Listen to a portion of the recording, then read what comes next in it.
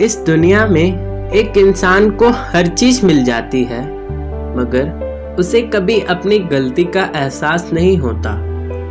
क्या खूब कहा है किसी ने, खेल में हारा हुआ इंसान दोबारा जीत सकता है, मगर मन से हारा हुआ इंसान कभी नहीं जीत सकता।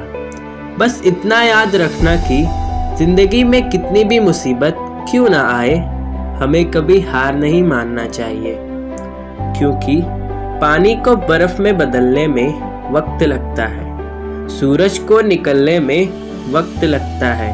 किस्मत तो हम बदल नहीं सकते, लेकिन अपने हौसलों से किस्मत बदलने में वक्त लगता है। अगर आपको मेरा ये वीडियो अच्छा लगा तो लाइक, कमेंट और सब्सक्राइब ज़रूर करें।